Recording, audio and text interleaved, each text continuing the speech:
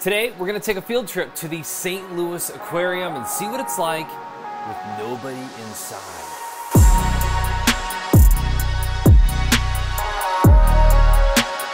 What's up, coral people? If you're new here, my name is Remy, and this is the Bahama Llama Coral YouTube channel. You can support the channel instantly by liking, subscribing, and hitting that bell notification so you are notified whenever I upload new videos. Today's video is gonna be a little bit different because we're gonna move out of the basement and go on a field trip to the St. Louis Aquarium to see what it's like when there's nobody there. And during this quarantine period, like many public venues, the aquarium is not allowing any visitors at this time. So here's a brief history of the St. Louis Aquarium. It's only been open for about three months, give or take. So the aquarium opened on Christmas Day 2019 and has been open since then, or up until the stay at home order went into place for St. Louis. And obviously, it's loaded with animals that still need to be taken care of. Full transparency, I am in broadcast. I am a radio broadcaster. That is my day job. So I have some contacts there at the St. Louis Aquarium that I reached out to.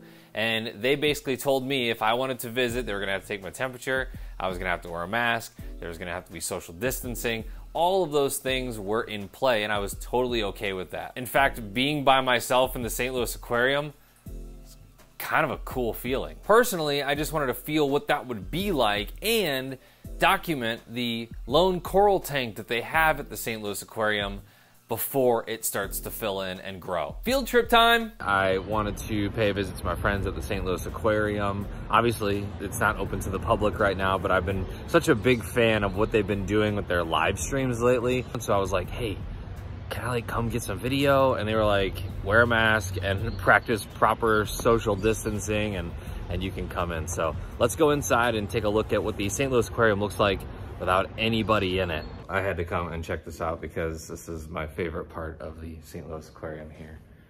Uh, I'm not technically alone, I guess. Uh, Tim and Charmaine are in here cleaning some algae off the rocks.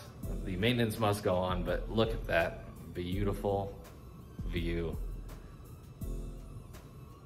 And it's quiet. It's so quiet. It's eerie. It's like eerie and peaceful at the same time. Oh. I feel like I'm in the tank. I was only allowed to take video at a couple different exhibits. Uh, I'm happy I got to see Shark Canyon though. This is one of their biggest exhibits at the St. Louis Aquarium and definitely one of the stars of the show. Shark Canyon is 250,000 gallons of water and contains more than 60 species of fish. This is the J window. If you walk up really close, you'll feel like you're in the tank. This is probably one of the best viewing panels in the entire aquarium. I love the sharks and the rays that are in here, and they've got a giant grouper and just some really big fish in here. But I think the star of the show, really for me, is the various schools of fish in this tank. I could literally stand here for hours and just watch. It is mesmerizing. It's also really hard to describe how eerie it is with nobody here. The aquarium has been absolutely awesome with their live streams during this stay at home order. In fact, the kids and I have plopped ourselves in front of the computer several times to watch some of the live streams that they have. One of my favorites was the shark dive. One of their animal curators was in there, Aaron, and they have a mask that allows you to actually speak underwater, which is really cool. Personally, it's been on my bucket list for a while, but I would love to do a broadcast of our show from the Shark Tank. I think that would just be awesome. They've also got a baby sloth named Coconut and it comes out to have breakfast with the guests every morning at 9:30. And my kids really enjoyed the live stream with the sharks and rays, the touch pond they have there. It's one of several different touch pond experiences for the kids.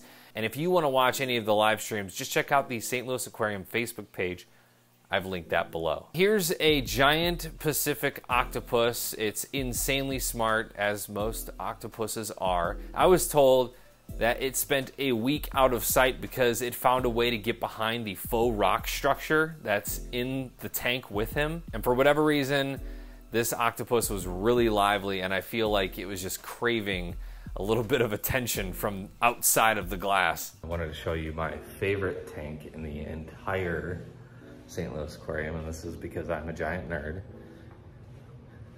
This is the coral tank. This was one of the last displays to go in.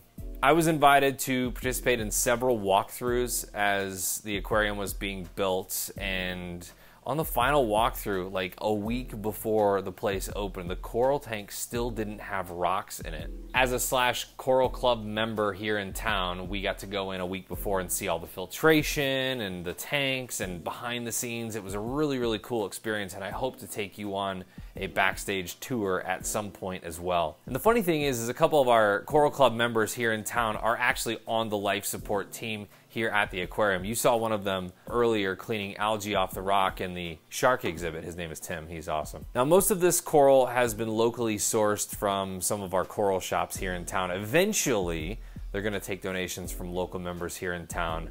Uh, and that's once they get the frag tanks set up behind the scenes. This display is about 1,500 gallons with a 500 gallon sump, so you're looking at about 2,000 gallons total.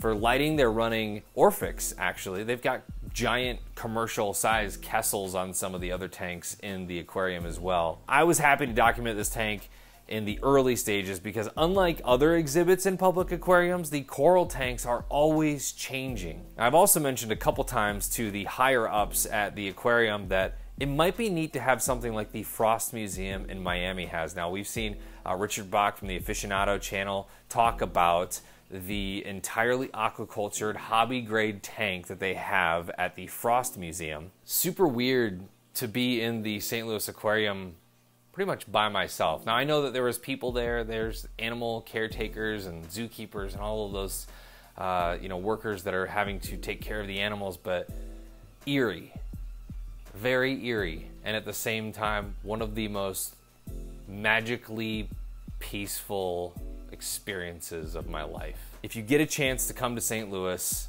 eventually, whenever we can start traveling again and you know living our lives, you have to stop by the St. Louis Aquarium. It's not the biggest aquarium in the world, but the kids are going to love it because that's who they had in mind when they built this place. Educational, and very interactive. I'm so happy to see the revitalization of this part of our town. Uh, we got a Ferris wheel, which is fantastic. It's just a great place to take the kids. It's right next to the Enterprise Center, which is where the St. Louis Blues play, and just down the street from Busch Stadium, where the St. Louis Cardinals play. Now, today's tour was fairly brief and that was just because they didn't want me walking around everywhere in the aquarium and i totally understand that i was really just there to document the coral tank and was pleasantly surprised when i was able to go over to shark canyon and see the octopus and a whole bunch of other exhibits too that were in that same area. And it will not be the last video from the St. Louis Aquarium. Like I said, I want to donate a piece of my coral. I also want to give you a tour behind the scenes and show you what kind of filtration they use on a commercial level. I think that's just super interesting stuff that you might also find interesting. If you'd like to support the aquarium, they have a foundation and they do a lot of great things for the kids in our community here in St. Louis. I know that kind of feels weird if you don't live here, but you know, if you feel so inclined and you've got an extra $5 or whatever and you want to donate that to the St. Louis Aquarium,